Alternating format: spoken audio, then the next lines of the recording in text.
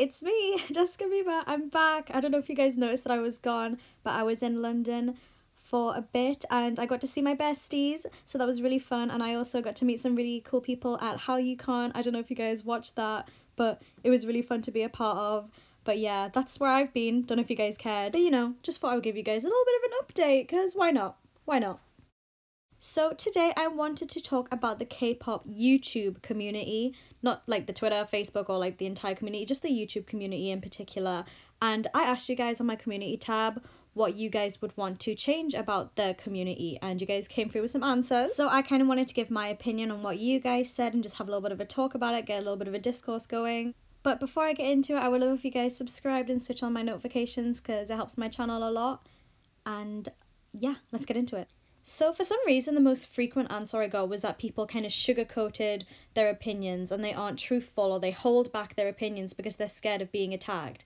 And let me say, I am guilty of this personally and I hate it. I genuinely really dislike it. But sometimes I just feel like I have to give either a big ass disclaimer before I say something, you know, that I don't find personally to be that bad, but I just know what some K-pop fans are like and it really sucks. And I was talking about this with other people at HallyuCon and stuff like that but you know we're grown adults you know the people you guys who watch me like we know right from wrong but there are so many K-pop fans who just kind of outnumber the people who kind of you know know better if that makes sense. So sometimes it just does feel like you have to sugarcoat things because you just can't be bothered to open that floodgates to ah, you know what I mean? So even though I hate it I wish it just wasn't like that but I also feel like it depends on the opinion you're saying. I think if you sugarcoat stuff like saying, I don't like an MV, or I don't like a song, or I don't like this concept, or stuff like that, I think it's really stupid if you just sugarcoat it and say, like, this song is thing, oh, da, da, da, but uh, I, I mean, the, the concept isn't my favorite, but just like say you don't like it. Like, I don't know. The thing is with me, or with most K-pop fans, if you say some say you don't like something, then kind of give your reason, you know, on why you dislike it, and you kind of just say, oh, that's just my opinion, but I still respect them. Da da da da. I don't think that's necessarily a bad thing, but I just feel like there is certain times where you do feel like you need to sugarcoat an opinion and sometimes where it's like oh girl shut up. Just say you don't like it and go. Like it's not that deep. It's not that serious. People aren't going to be mad at you if you don't like a song and if they are then they're stupid you know?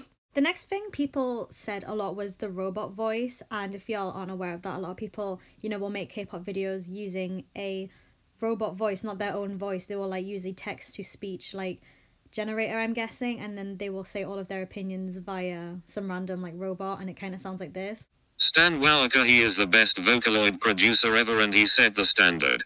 So, personally, to me, I can't listen to videos like that are over five minutes long where it's just this voice speaking over and over again because it just gets so monotonous, the words are pronounced incorrectly, and it just kind of grates on your ears. I don't really mind it if it's just like in the video for like maybe one or two seconds where it's just like saying one thing, then showing a clip kind of in like a compilation kind of thing. But apart from that, I don't know. I personally just do not like the robot voice. But the thing is, to me, I'm not going to tell anyone to stop using it because I feel like a lot of people use it because they don't feel confident in speaking English because maybe it's their second language and they're not completely fluent. So I don't want to be like, you know, someone to say, oh, just just use your real voice, like, because I know it's not that easy to be confident in speaking English, you know. But let's say people use it and English is their first language. I don't really get it. Like, you know, maybe you're afraid of your voice being on the internet, but I don't know, girl, it's just your voice. Like, there are a million voices in the world, and like, you think, I don't know, someone from your IRL life is just gonna recognize you. Like, I don't know. Are, are you that special? Like, that's not trying to be shady, but come on, like, if English is your first language, I don't get why you would use such a grating voice on purpose. I don't know. I also feel like it's really hard to connect to people who use that voice because you just feel like there's nothing there to connect to. That's why I kind of find myself connecting to YouTubers who kind of show their face more or use their real voice more because you kind of see them as people. You know what I mean? But this is just a bit ironic coming from me, who is a Vocaloid stan, who literally just listens to singing robots all the time. But it's different, okay? They have tones and stuff and they can be tuned really well. They don't sound monotonous and you can fix their pronunciation. a few people would also talk about shippers kind of going out of control, and I thought this was a really valid point as well. I have discussed like shipping and stuff in another video and why I'm not really comfortable with shipping real life idols and stuff. You know, it would be hard to sum up in 30 seconds why it would be so frustrating and dehumanizing to see people like fetishizing gay relationships and stuff like that. But the thing is, for me, right, listen, we need more representation in K pop when it comes to the LGBTQI plus community, but it has to be in a way where it's kind of consensual, I guess, because you know, when you like make idols uncomfortable and ship them to their faces, it's not uncomfortable due to homophobia. It's uncomfortable because these people probably know each other and have been friends and they see each other more as brothers. And if someone came up to me and said, Oh my god, you and your best friend would be so cute together, I ship you guys so much, I would feel uncomfortable, not because I'm homophobic, but because that's my friend and I've known them for years and years and years. You know what I mean? It would just be weird to me. And you know, this reminds me, this topic reminds me of when, you know, Nancy from Momoland was getting, you know, cancelled because she said she didn't want to date any of her band members. Well, yes, of course she wouldn't because they're literally like sisters. Next thing I saw people talk about was the kind of thing that people do where they announce that they unstan groups and stuff like that. And I have been guilty of this one, but I privated the video for a few reasons and I actually talked about this on my Instagram story the other day. So, yeah, if you guys saw that, I'm repeating stuff, sorry. I don't like these type of videos because I think they invite negativity into the K-pop community. I think they open up some gates to shit talking and just all around negativity and bad vibes. And you know, I'm not really about that anymore. And the other thing is like the reasons I like so-called unstan these groups were just stupid. I ended up like standing them again after like a few months, so it was like dumb, really. but aside from that, again, I just think it opens up a whole new wave of ne- negativity towards a group and towards a fandom. I feel like I've heard everything before, and I don't get why people think they're like they're that special to announce that they're unstanning a group. Like unless you're Chaka Khan, I really do not care if you're unstanning Blackpink. I really don't.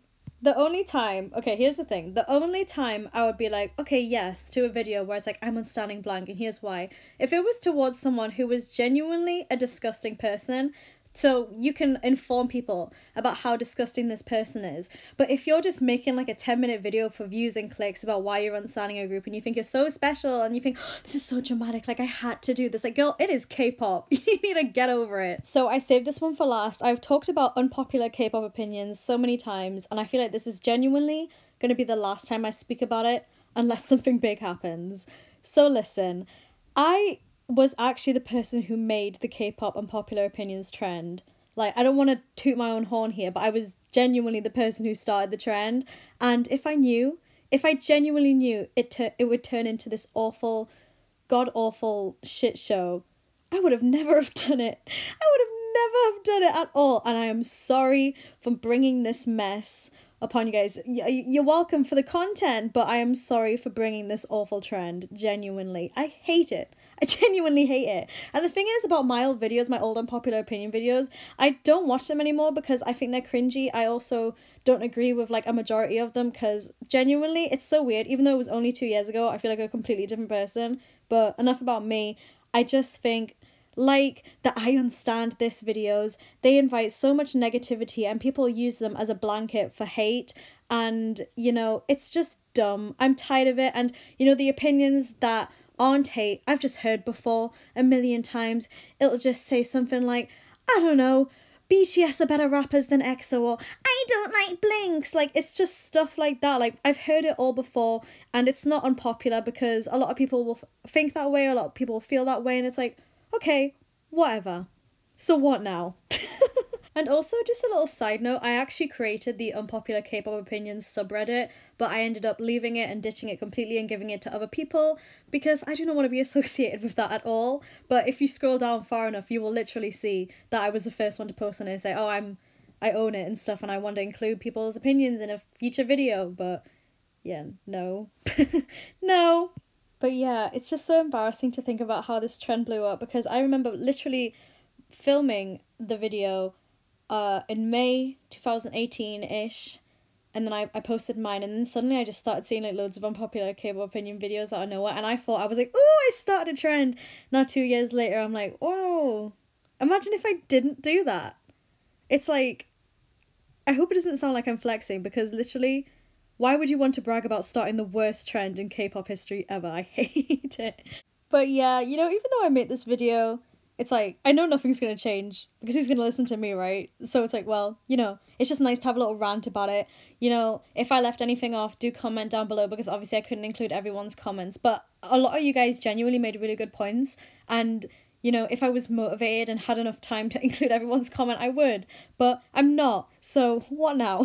I'd also like to add, I should have probably said this at the start, but whatever that I'm not really throwing any shade to any specific creator. This is more of just a general community type of thing. And, you know, I don't really have any problems with any specific K pop YouTubers apart from that one guy who made disgusting comments about Rose. So, yeah, I don't remember your name, but you're ugly as hell. But all of the K pop YouTubers that I have personally interacted with have genuinely been nice and friendly people. So, there's literally no shade to any of them. I don't consider myself friends with loads of them. The only people I really consider myself friends with who are creators are Johnny and Tora, and Tora ain't even a K-pop creator, so what now? So yeah, that's my little disclaimer. So don't think I'm atting anyone or trying to start beef because that's dumb. So so just don't, okay? Thank you guys for watching. If you guys want to hit me up on Twitter Instagram and stuff, then please do. It makes me feel better. I love I love getting validation through numbers. It's true, it's true. No, seriously, I'm very lonely. I don't know if I should make this kind of into a thing where it's like talking about the K-pop YouTube community, talking about the K-pop Instagram community, talking about the K-pop Twitter community. I don't know if this should be like a regular thing or if that would be something you guys want to see, but let me know as well. And apart from that, you guys should stan Wowaka. Uh, that's it. Yeah, I'm off now.